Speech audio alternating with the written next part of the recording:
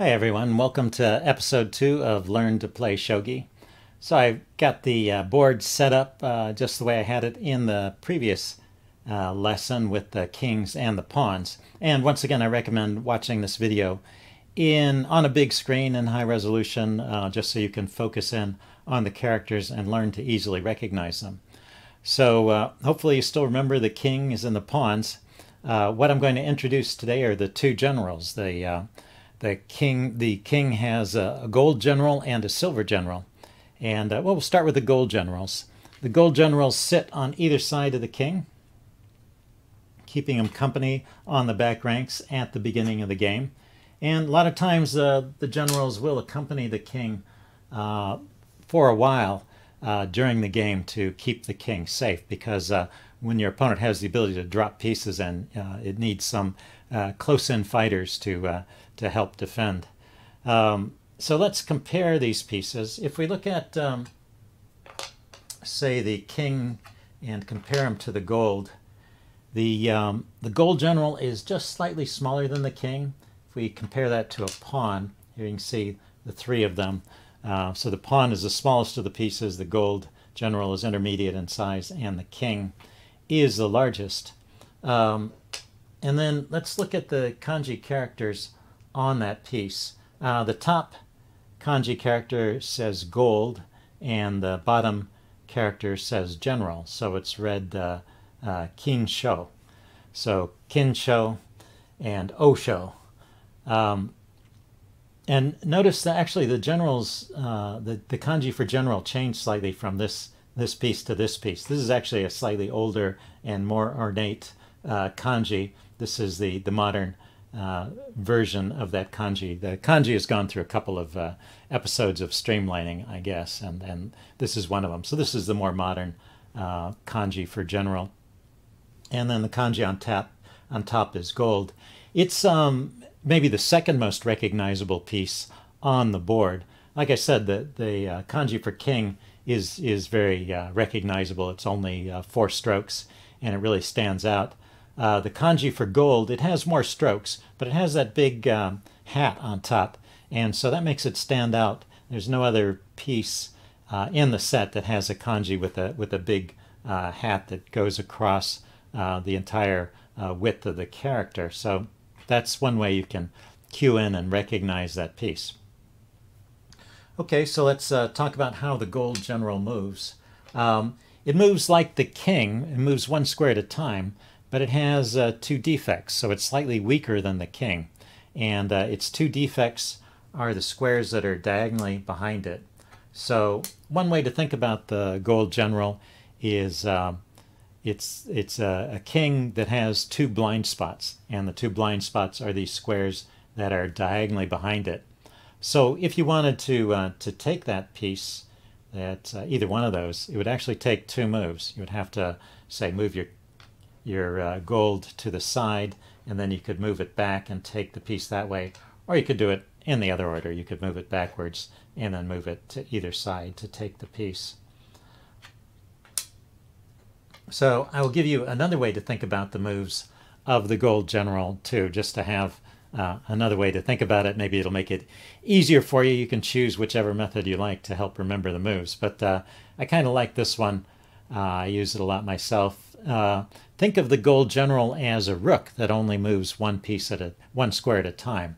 So that would give it these four moves: straight ahead, straight back, straight to the left, uh, straight to the right, and straight to the left. Um, and then, in addition, it also can attack any of the squares in front of it, the three squares directly in front. So uh, that gives it a total of six moves. These one, two, three, plus side to side, that's four, five, and directly back is 6. And um, while I'm talking about those moves, you may remember this from the previous video. I didn't emphasize this point, but I did describe the moves of a promoted pawn. And uh, if you remember what I said in that video, I said the pawn can go forward to any of the three squares in front, it can go side to side, or it can go directly back. So a promoted pawn is in fact a gold general. It has the powers of a gold general. So that is that is the piece that uh, the pawn is promoted to. I just didn't want to use the name uh, in the previous video, so I just described the moves, but uh, that's the piece we're talking about when a pawn is promoted. Um, okay, so that's how to recognize it, how it moves. Let's, um, before we do examples, let's bring in uh, his neighbor, the uh, silver general. So the silver generals sit next to the gold generals, and they are just slightly weaker. So we've gone from uh, the king to the gold general to the silver general, and each piece gets a little bit weaker each time. Now let's take a look at the uh, silver general. So the silver general, if we compare the kanji on it to the gold general, we can see the character on bottom is the same. So that's uh, that's the word for general, the kanji for general, and then the kanji on top is the kanji for silver. So notice, uh, compare this to the uh, kanji for gold. You'll actually see that it has a segment on the left side of the top character there, which is identical to the gold kanji. It's just squished a little bit.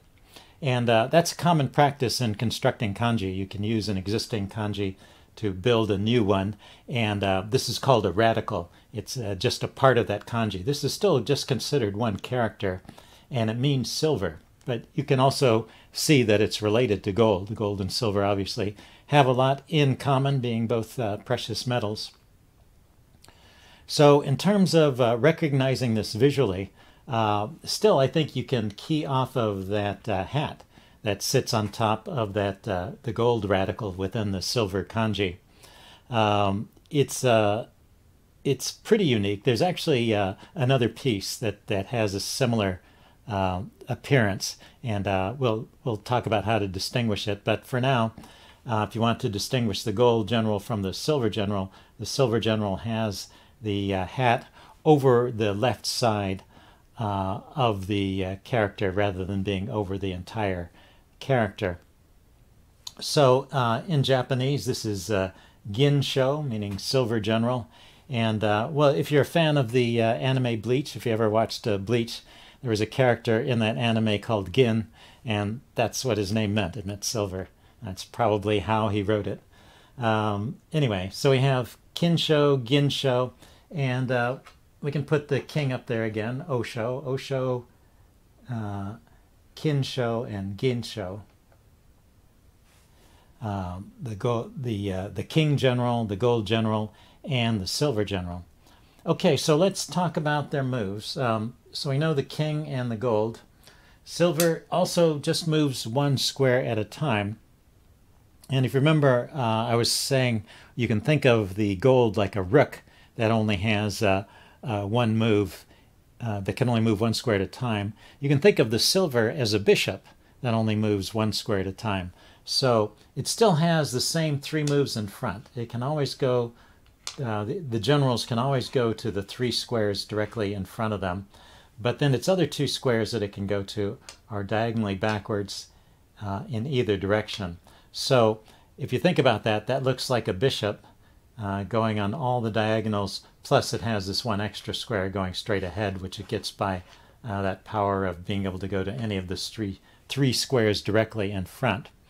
Or if you want to uh, think about it in the other way, if you want to think about the defects, the weaknesses that it has, it has three weaknesses, which are the, the squares that the rook could go to, uh, the square directly to either side, and the square behind. So the the uh, silver general is a bit uh, clumsier than the gold general in the same way that a, a, bishop is sometimes a bit clumsier than a rook. So for example, to get to the square on either side, um, the bishop can get there in, in two moves. It has to go diagonally backwards, and then it can go forward and take that piece. So it can get there, or to the other side, it can go diagonally to this side, and then it can go straight forward to get to that square.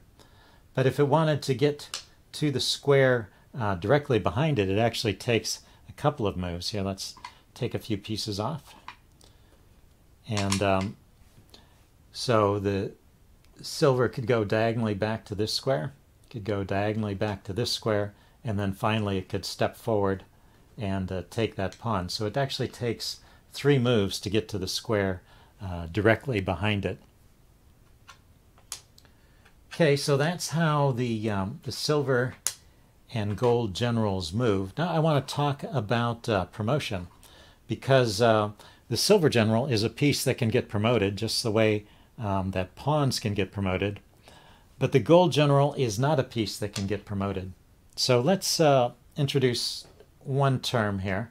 Um, the pieces along the back rank are called minor pieces. There's two more pieces here that I'll be talking about in the next video. And the pawns and the minor pieces can all promote, but the piece they promote to is the gold general. So the gold general itself does not promote. It's, it is uh, sort of the apex of all the minor pieces and pawns. It's the highest uh, piece that they can aspire to. But the silver general uh, can promote, and when it promotes, it promotes, like all of the minor pieces, it promotes to a gold general. And you can uh, tell that from the kanji on the back. You can see it's got that big hat that covers the entire kanji. It's actually a slightly simplified version of this kanji. It doesn't have quite as many characters as the, the standard kanji for gold, but that's all it is. It's just a simplified kanji for gold. It's a kind of a script. Uh, you can write kanji uh, in an abbreviated format, I guess, in some cases. So it's known as a script form of the character. Okay, so uh, let's see, that's how it moves, that's how it promotes. And um, when we were talking about dropping pieces in the previous video, when you have a, a, piece like a silver, it really can drop on any open square on the board. I can put it here, for example, where I could not put a pawn, because on these squares, it has the ability to go diagonally backwards or go side to side so it doesn't get stuck on the back row. There's no, no square on the board where it will get stuck. So in fact, uh, it is legal to drop the, uh, the, the, silver general and also the gold general uh, when you have them in hand. You can drop them on any square on the board, including uh, directly in front of the uh, enemy king. so uh, that, that can be very handy. And you can see why it is it's uh, quite a dangerous thing to have your king exposed. So a lot of times uh, in the course of the game, the king will wander over to one side of the board or the other and, and kind of surround himself with a few generals to protect uh, the neighboring squares so that uh, if a piece does get dropped in, it can be uh, taken off or pieces can be used to shield the king. Okay, uh, so let's set up a couple of mating problems. Here, let's, let's clear off the board. Well, we can just push these pawns forward. Let's say the king has come over to this side and um, and he's got some pieces around for protection. This is pretty common. He might have, say, a silver a silver general here to guard some squares and uh, a gold general here. Um, and then there, there may be some pieces behind it. Um, but uh, we'll ignore those for the moment. And um, and let's say, uh, you know, a couple of pawns have been moved forward here, and a couple of pieces have been captured. So maybe I have a piece in hand, like a gold general. It's always handy to have one of those.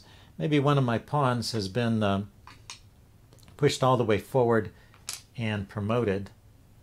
And uh, let's see, uh, maybe he's captured a couple of my pieces.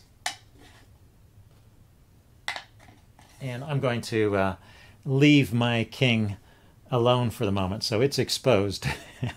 but it's uh, it's my turn here in this example that I've set up. And uh, so there's actually a mate in one on the board here. If you want to uh, think about this position for a while, see if you can spot a mate in one. Okay, I'm going to uh, give the answer away now. It's um, well, first of all, this, this is a key piece, the, the gold, the promoted pawn, which is a gold general, but it can't mate by itself. If you move it towards the king, the king can just take it. That's not a problem. But, um, but it is doing an important role, which is, it does have an important role, which is it's looking on this square next to the king. And uh, if you remember the weak spots of the gold general and the silver general, the gold general's weak spot is diagonally backwards, and the silver general's weak spot is directly backwards. So there's actually nobody defending that square except for the king. And that means you can drop a gold general right on that square and that king is checkmated. So that's that's a uh, mate in one problem for you.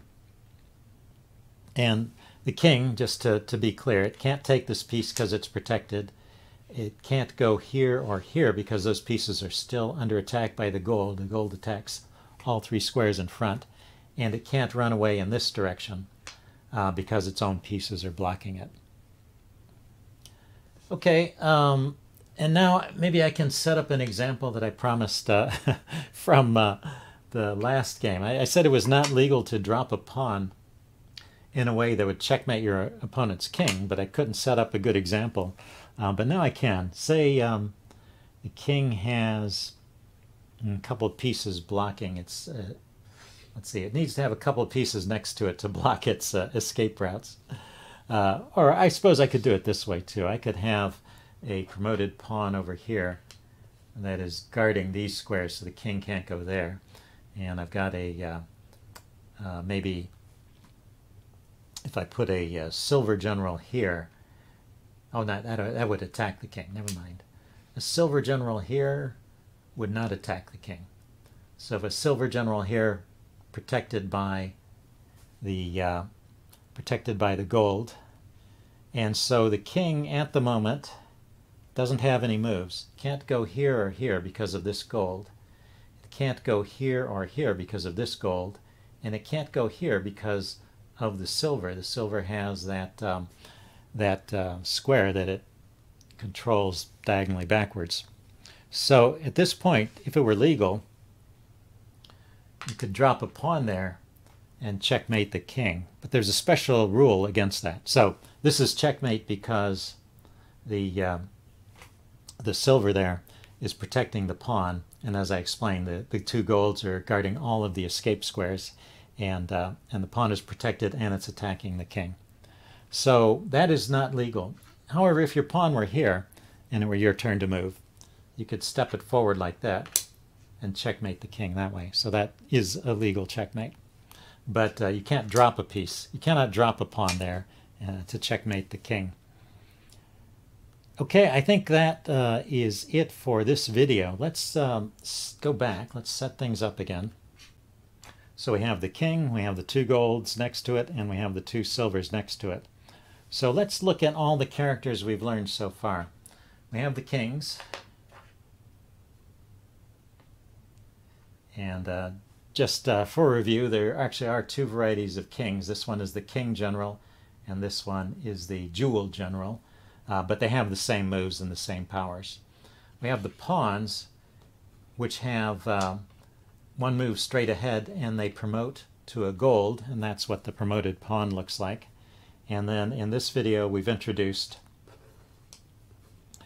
the generals. So we have the gold general, and uh, the back side of the gold general is blank. It's just a, a reminder that it only promotes to it doesn't promote. it's it's uh, the gold general is sort of the the height of uh, of uh, that a, that the minor pieces can aspire to, and it's already there. So it's it's achieved uh, perfection within its realm.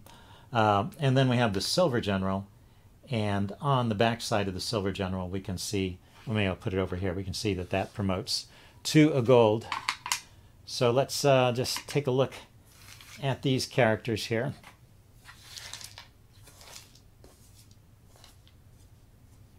and uh, try and uh, remember them.